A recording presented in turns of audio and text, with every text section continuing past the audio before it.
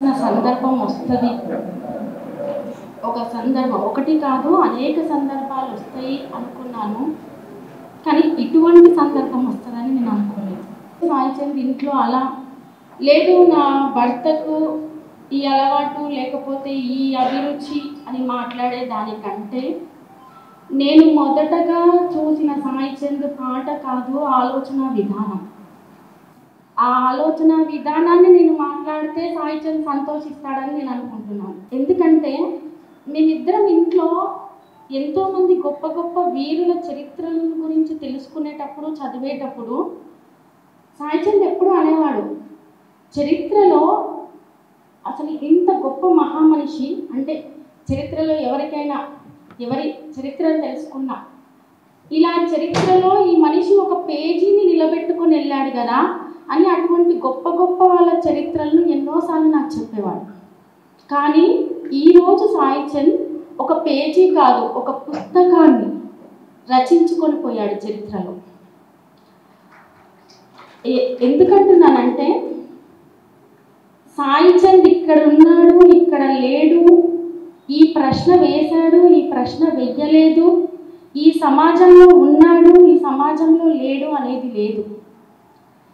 ఇదే ఉస్మానియా యూనివర్సిటీలో గ్రాడ్యుయేషన్ చేసేటప్పుడు ఓ అరుణధార ఉద్యమాల ధీర ఉస్మానియా క్రాంతిధార నువ్వే మా చెగువేరా తరాలు మరువని విప్లవాల విద్యార్థి వీరా అని జార్జిరెడ్డి వీరోచిత పోరాటాన్ని.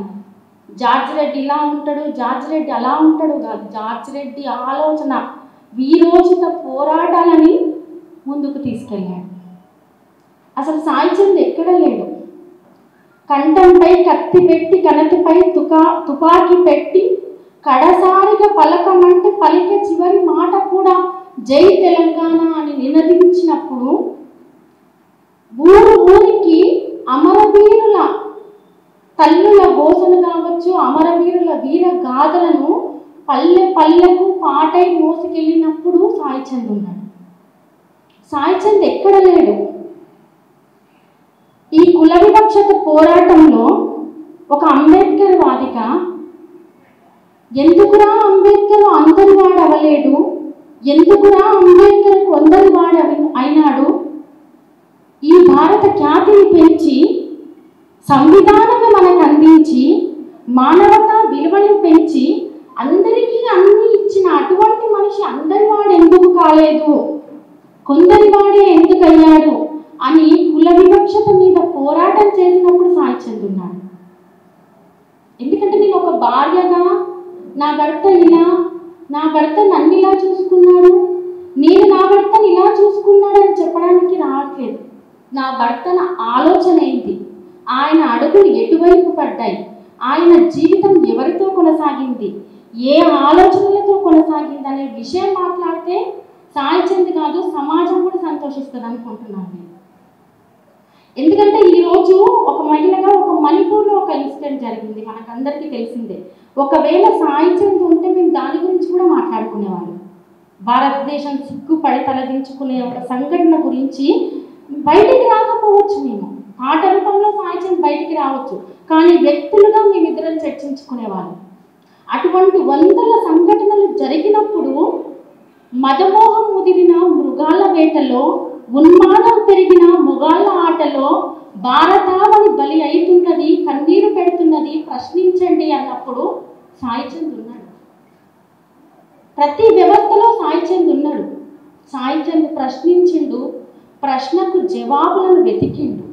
ఎలా వెతికిండు అంటే ఎండిన వాగుల గురించి పాడినప్పుడు సాయిచందుల గురించి పాడినప్పుడు సాయిచంద్ ఉన్నాడు పాలకూరు కన్నీటి వెతలను పాడినప్పుడు సాయిచంద్ ఉన్నాడు ఈ రోజు పాలమూరు పచ్చని పంటలో కూడా సాయి ఉన్నాడు విద్యార్థి ఉద్యమాల్లో సాయిచంద్ గొంతుంది తెలంగాణ ఉద్యమంలో ఉరకలెత్తింది.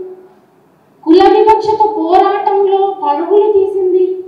రాష్ట్ర అభివృద్ధిలో కూడా గొంతై నిలిచింది. సాయిచంద్ ప్రశ్నలోనే లేడు. ప్రశ్నించే ప్రతి చోట ఆ ప్రశ్నకు తనైన జవాబాన్ని జవాబును వెతుక్కునే వేదికల మీద కూడా సాయిచంద్ ఉన్నాడు. కాబట్టి అందరివాడు అని మాట్లాడాడు సాయి చంద్ కూడా కొందరివాడు కాదు అందరివాడు అందరి సమస్యను తన సమస్య ప్రశ్నించింది ప్రశ్నను ప్రశ్నలాగానే చూడలేదు. ఆ ప్రశ్నకు నా దారి ఎటువైపు వెళితే జవాబు దొరికిద్ది? ఎంతో కొంత ఊరటను నేను ఏ రకంగా ఇయ్యగలను? అని ఆలోచించిన మనిషి ఉన్నాడంటే అది సాయి చంద్ర అవును చిన్నవాడే. ఇక్కడ ఉన్న అందరికంటే చిన్నవాడే. కానీ సాయిచంద్ ఆలోచన చిన్నది కాదు. సాయిచంద్ ఆలోచనకు సాయిచంద్ మానవీయత కూడా తోడైంది అది ప్రతి ఒక్కరికి తెలుసు. ఆయనతో ఆత్మీయ అనుబంధం ఉన్న అది చిన్న స్కూల్ పిల్లవాడి కాడ నుంచి రేపో మాపో నా జీవితం అయిపోయిందనుకునే ముసలి వాళ్ళ వరకు వృద్ధుల వరకు సాయి చంద్ అంటే ఏందో ఆయనతో ఆత్మీయ అనుబంధం ఉన్న వాళ్ళకు తెలుసు. సాయి చంద్కు నటించడం రాదు జీవించడం వచ్చు. సాయి చంద్ జీవితంలో నుంచే పుట్టుకొచ్చిండు నటనలో నుంచి పుట్టుకురాలి జీవిత గాయాలలో నుంచి పుట్టుకొచ్చిండు. అందుకే సాయి చంద్ ప్రతి గాయాన్ని ప్రశ్నించిండు. ఈరోజు అంటే ఒక చిన్న సందర్భం నేను అన్నను పర్మిషన్ తీసుకొని చెప్పాలనుకుంటున్నాను కాశీమన్నాను ఎందుకంటే అన్నతో నాకు ఏ రోజు ప్రత్యక్షంగా పరిచయం లేదు కానీ పరోక్షంగా పరిచయం ఉంది. ఇక్కడున్న అందరితో నాకు ప్రత్యక్షంగా పరోక్షంగా అది విజయన్న కావచ్చు అత్యంత ఆత్మీయుడు విజయన్న. విజయన్న కావచ్చు యశ్మాలన్న కావచ్చు కొండన్న కావచ్చు ఈరోజు మిట్టపల్లి సురేంద్రన్న నాగన్న అది వినయన్న అందరితో నాకు ప్రత్యక్షంగా అనుబంధం ఉంది. కొందరితో పరోక్షంగా అనుబంధం ఉంది. పరోక్షంగా అనుబంధం ఉన్న వాళ్ళలో సాయి చంద్కు గురువైన వాళ్ళలో కాశమన్న కూడా రెండు వేల బహుశా నాకు సంవత్సరం గుర్తుకు లేదు ఒక సందర్భం చెప్తున్నా ఒక మానవీయ కోణం గురించి చెప్తున్నా. సమాజం తెలుసు తెలంగాణ ఉద్యమం తెలుసు అన్ని తెలుసు. సాయిచంద్ర జీవితం గురించి ప్రజలకు మనం ఎవరికో కొత్తగా చెప్పాల్సిన అవసరం లేదు. ఏ వ్యక్తిని ఏ పల్లెను ఏ పాటను పలకరించిన సాయిచంద్ గురించి చెప్తారు. కానీ ఆయనలో ఉన్న ఒక మానవీయ కోణానికి రెండు దృశ్యాలు నేను చెప్తాను. ఇది బహుశా సాయిచంద్ కూడా బయటకు చెప్పుకోకుండొచ్చు ఒకనొక సందర్భంలో నేను సాయి చంద్ బైక్ మీద వెళ్తున్నాం. అది అప్పటికి తెలంగాణ ఉద్యమం కూడా ప్రారంభం కాని సమయం అనుకుంటాను.